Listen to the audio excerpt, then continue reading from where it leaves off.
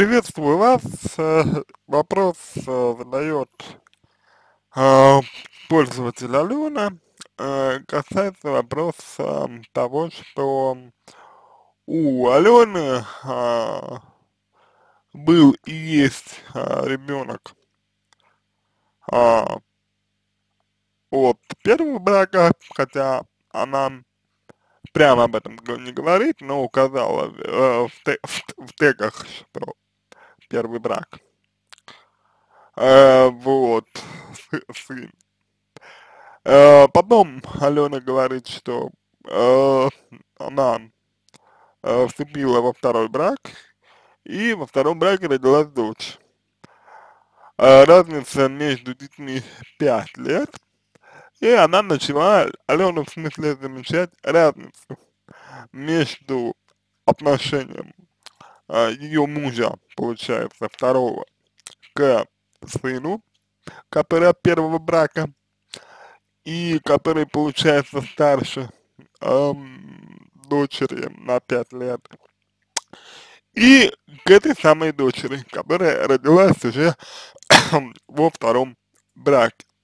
То, что э, сыну э, со стороны э, второго мужа Алены э, транслируется достаточно строгое, э, жесткое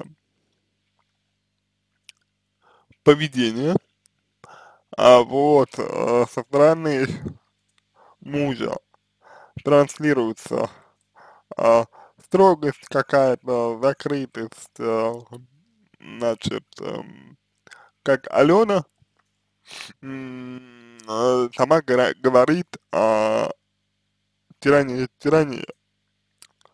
Вот, как это говорит Алена, ну, как э, Алена сама это называет, что это тирания. А дочери, э, соответственно, напротив, э, попустительское отношение, да, все позволяется и так далее.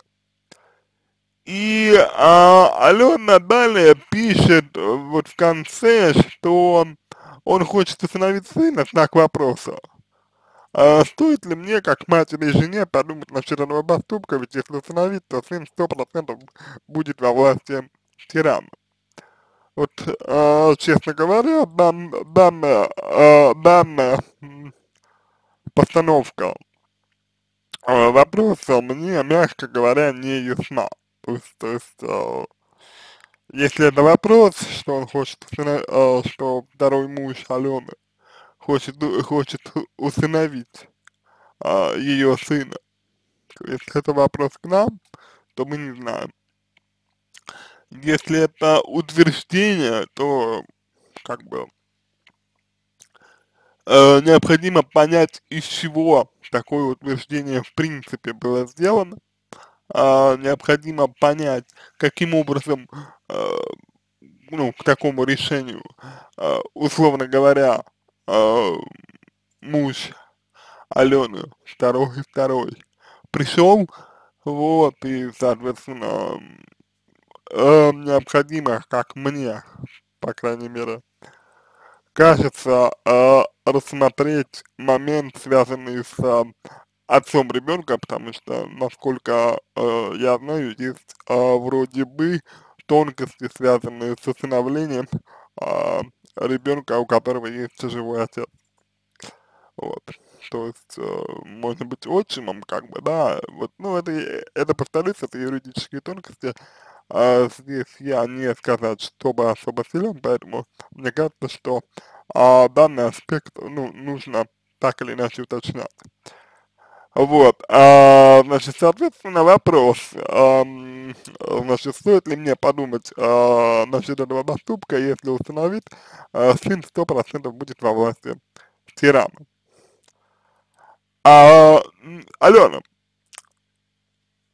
от того, усыновит или не усыновит а ваш а, второй муж, а, вашего сына,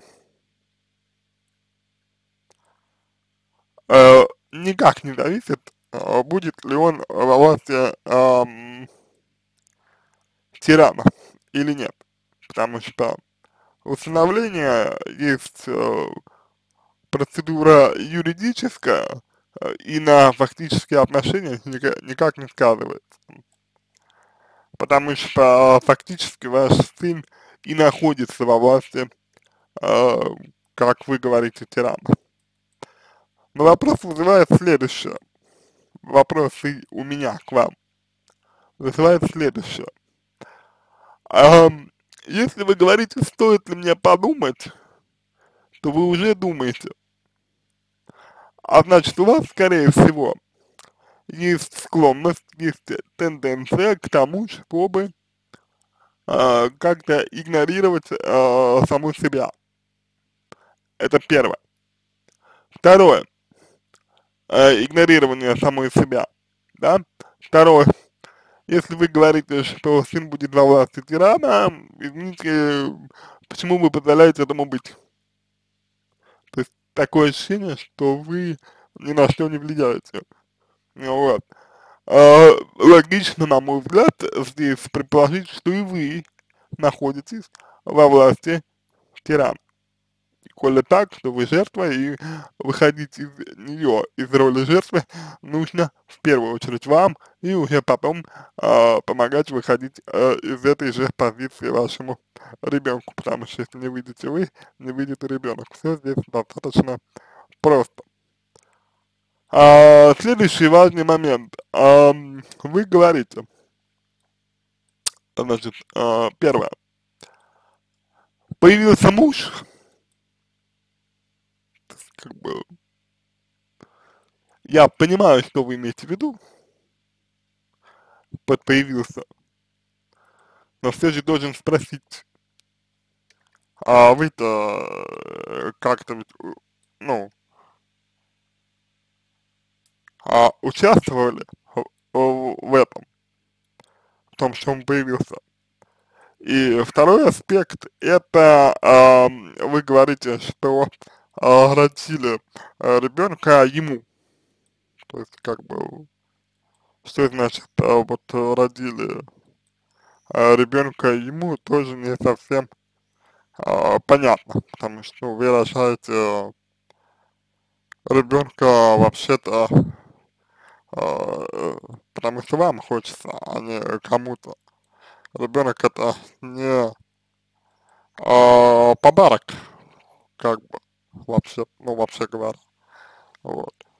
Поэтому тут вот такой момент нужно обязательно зафиксировать, на мой взгляд, по крайней мере, это достаточно важно. И таким образом э, необходимо увидеть, что ваш муж э, ревнует вашего сына к э, его отцу, и он его не принимает, и это э, может быть предметом совместной психотерапии или его психотерапии, психотерапии вашего мужа, а вам нужно работать с теми проблемами, которые я плюс-минус обрисовал вам э, ранее. На этом все. Э, буду благодарен за обратную связь по моему ответу. Изучите, пожалуйста, треугольник Карпмана. Вот, вам обратная связь в купе с изучением материала поможет начать, начать работу над собой. Желаю вам всего самого доброго и удачи.